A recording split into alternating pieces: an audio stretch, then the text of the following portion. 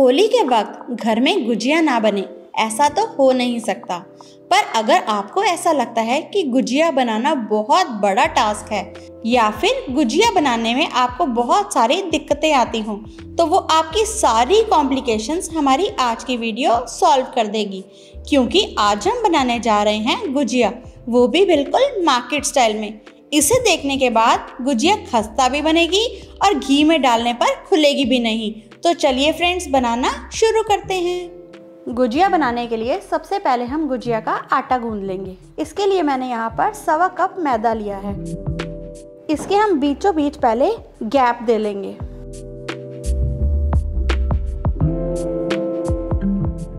इसके बीच में हम ऑयल डालेंगे। मैंने यहाँ पर देसी घी मेल्ट करके लिया है। इसमें मैं तीन बड़े चम्मच देसी घी सबसे पहले डाल दूँगी। अब हम इसे हाथों से मिक्स कर लेंगे। अगर आपको ये परेशानी होती हो कि गुजिया में घी कितना डलेगा तो इस तरह से अच्छे से मिलाने के बाद आप हाथ से जोड़कर देख लें। अगर आपका आटा इस तरह से इकट्ठा होना शुरू हो जाए तो आपका घी गुजिया में बराबर है।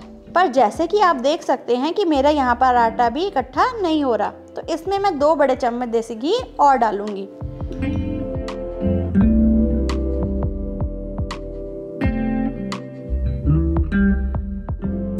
अगर आपको नरम और बढ़िया सी गुजिया चाहिए तो उसके लिए घी की क्वांटिटी मैदे में अच्छी सी डालनी पड़ेगी। तो अब आप देख सकते हैं कि हमारा मैदा अच्छे से जुड़ने लग पड़ा है, यानी कि इसमें हम बराबर घी डाल चुके हैं। अब हम इसमें थोड़ा थोड़ा पानी डालकर इसका आटा गूंद लेंगे। हमें इसका डो बहुत ज़्यादा टाइट नहीं बनाना और ना ही ज़्यादा सॉफ्ट बनाना है। इसके लिए मैंने यहाँ पर एक कप पानी लिया है। इस पानी में से मैं थोड़ा थोड़ा पानी डालकर इसका आटा गूंद लूँगी। पानी को हमें एकदम से नहीं डालना, नहीं तो आटा बहुत ज़्यादा सॉफ्ट हो जाएगा। बढ़िया आटा गूंदने के लिए हम इसमें थोड़ा थोड़ा करके पानी डालेंगे।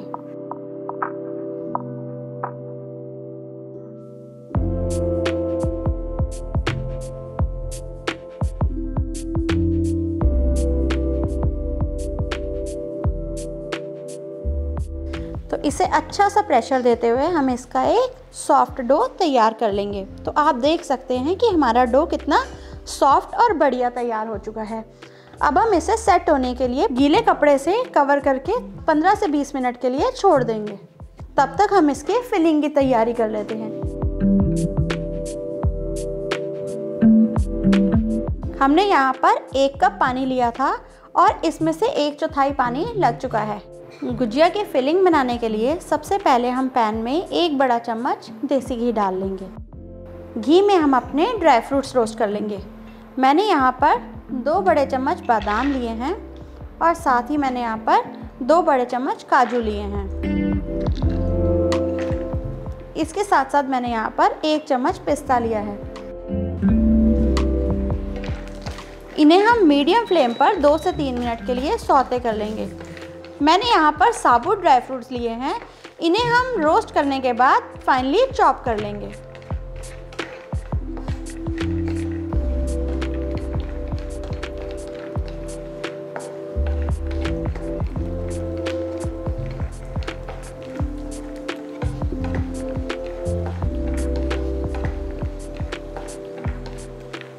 जैसे कि ड्राई फ्रूट्स रोस्ट हो चुके हैं, अब हम इनको एक बाउल में निकाल लेंगे। और इनके ठंडा होने पर इनको बारीक काट लेंगे। ड्राई फ्रूट्स के रोस्ट होने पर इसी पैन में हम एक चौथाई कप सूजी रोस्ट कर लेंगे। सूजी को भी हम मीडियम फ्लेम पर चलाते हुए रोस्ट कर लेंगे।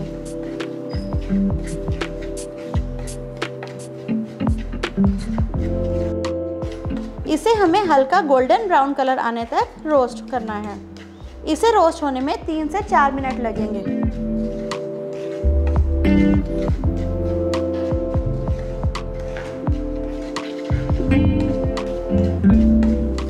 इसे हम मीडियम फ्लेम पर लगातार चलाते हुए भून लेंगे।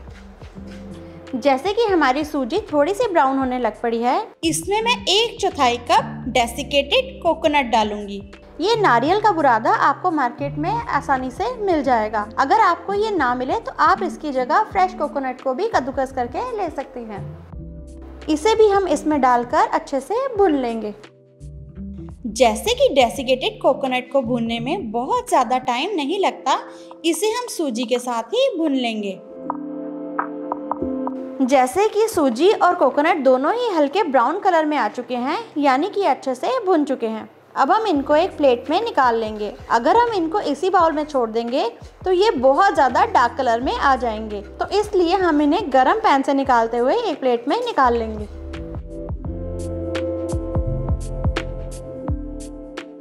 हमने फिर से वही पैन ले लिया है। इसमें हम आधा कप खोया डाल देंगे। खोए को मैंने हल्के से हाथों से मसल कर लिया है। इसे भी हम चलाते हुए भून लेंगे।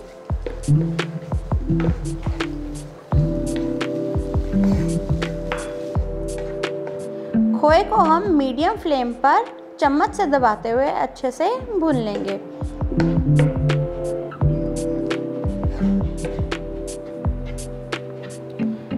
खोए को लगातार चलाते हुए भुनेंगे, नहीं तो खोया नीचे लगने की वजह से सारी गुजिया का टेस्ट खराब हो जाएगा।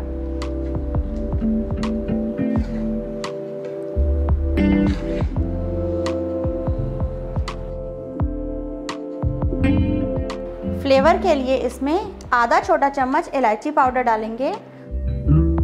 और इसमें हम एक चौथाई कप चीनी का पाउडर डाल देंगे। मैंने यहाँ पर बहुत ज़्यादा चीनी का इस्तेमाल नहीं किया, क्योंकि हम चाशनी वाली गुजिया बनाने वाले हैं।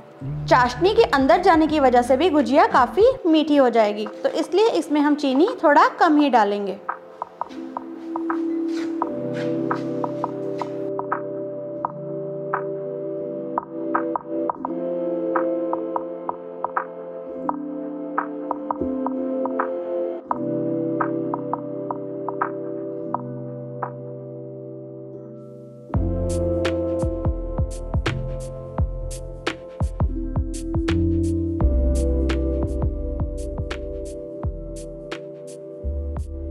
जैसे कि खोया बुन चुका है, अब हम इसमें कोकोनट नारियल और ड्राई फ्रूट्स को ऐड कर देंगे।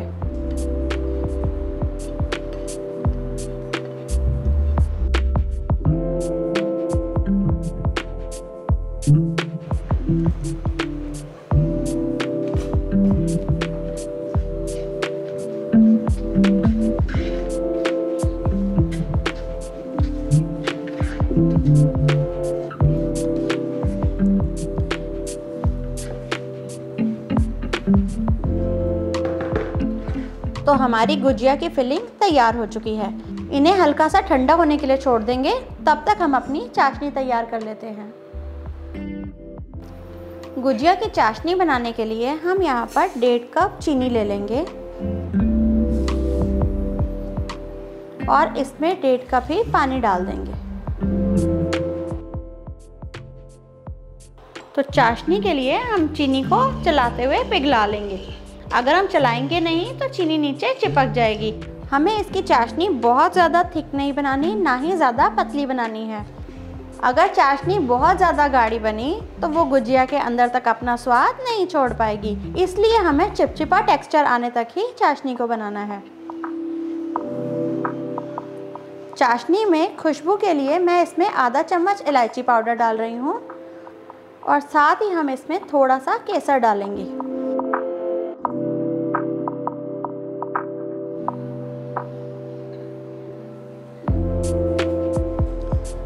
तो जैसे कि हमारी चाशनी काफ़ी चिपचिपे टेक्सचर तक आ चुकी है। अब हम इसे साइड पर रख लेंगे और अपनी आगे की तैयारी कर लेंगे। पर जब भी इसमें गुजिया को डिप करेंगे तो चाशनी को हल्का गर्म करने के बाद ही डिप करेंगे। ठंडी चाशनी में गुजिया डालने से गुजिया के अंदर तक चाशनी एब्जॉर्ब नहीं हो पाएगी।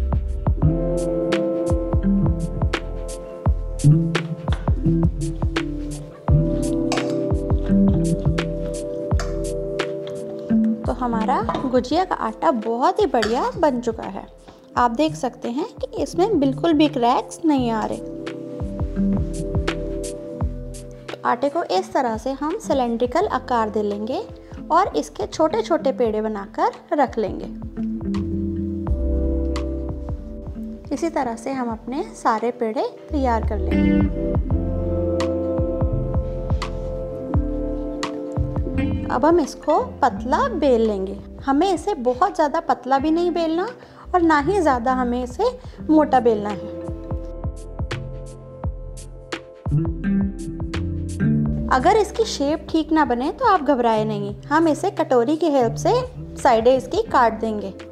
वैसे तो आप इसे इस तरह से सांचे में डालकर भी बना सकते हैं। पर अगर आपके पास इस तरह का सांचा ना हो तो मैं आपको दूसरी तरह से बता देती हूँ। इसे हम इस तरह से किसी भी कटोरी की शेप में काट लेंगे।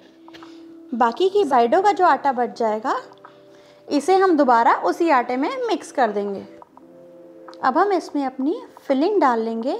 फिलिंग को हमें बहुत ज़्यादा नहीं डालना, नहीं तो हमारी गुजिया फट जाएगी। इसे हम इस तरह से गुजिया में फिलिंग डालने के बाद इसकी साइड्स को अच्छे से सील कर देंगे।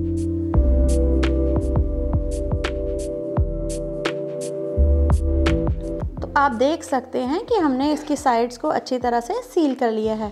अगर आपको लगे कि आपकी गुजिया की साइड्स खुल जाती हैं तो सील करते वक्त आप इसके किनारों पर थोड़ा सा पानी भी लगा सकते हैं। इस तरह से मोड़ते हुए हम इसे गुजिया को डिज़ाइन देंगे। अगर आपकी गुजिया फ्राई करते हुए फट जाती हो तो उसके लिए मैं आपको एक बहुत ही बढ़िया टिप देने वाली हूँ। तैयार की हुई गुजिया में सेफ्टी पिन की हेल्प से एक छोटा सा छेद कर लीजिए। इससे गुजिया के अंदर हवा नहीं भरेगी और फ्राई करते हुए गुजिया फटेगी नहीं। अब हम गुजिया को फ्राई कर लेंगे। फ्राई करने के लिए हमें यहाँ पर ऑयल को बहुत ज़्यादा गर्म नहीं करना। मैंने यहाँ पर ऑयल को मीडियम गर्म किया है। अगर हम बहुत ज़्यादा ऑयल को गर्म कर देंगे तो हमारी गुजिया डालते ही बाहर से तो पक जाएँगी। बट अंदर से कच्ची रह जाएँगी। इस तरह से हम गर्म ऑयल में गुजिया डाल देंगे। गुजिया डालने के बाद इसे हम एकदम से नहीं चलाएँगे। इसे हम दो से तीन मिनट घी में अच्छे से सेट होने के लिए छोड़ देंगे। इसके बाद ही कड़छी की हेल्प से इसे चलाते हुए फ्राई कर लेंगे। तो इस तरह से गुजिया को चलाते हुए हम फ्राई कर लेंगे। गुजिया को फ्राई करना बहुत ही पेशेंस का काम है। क्योंकि गुजिया हमें मीडियम गरम ऑयल में ही फ्राई करनी है। अगर हम बहुत ज़्यादा गरम ऑयल में गुजिया को फ्राई करेंगे तो हमारी गुजिया बाहर से जल जाएँगी और अंदर से अच्छे से पकेंगी नहीं। अगर हमें खस्ता और बढ़िया गुजिया चाहिए तो हमें गुजिया को मीडियम फ्लेम पर फ्राई करना पड़ेगा।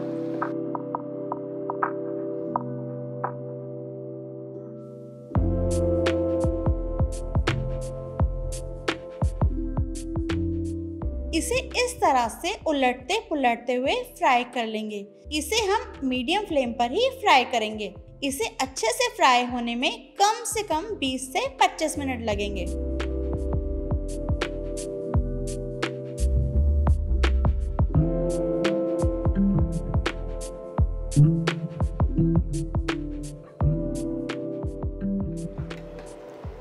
तो हमारी गुजिया रेडी हो चुकी है। अब हम गुजिया को निकाल कर दो से तीन मिनट के लिए गर्मा गर्म चाशनी में डिप करके रख देंगे।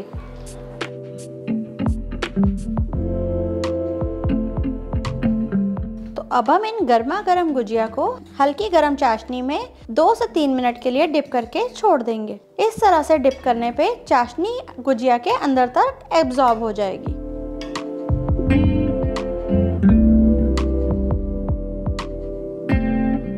अगर आपको मेरी रेसिपीज़ अच्छी लगे तो आप मेरे चैनल को प्लीज़ लाइक शेयर और सब्सक्राइब करें। और रेगुलर वीडियो अपडेट्स के लिए बेल आइकन को दबाना ना भूलें। Thanks for watching my video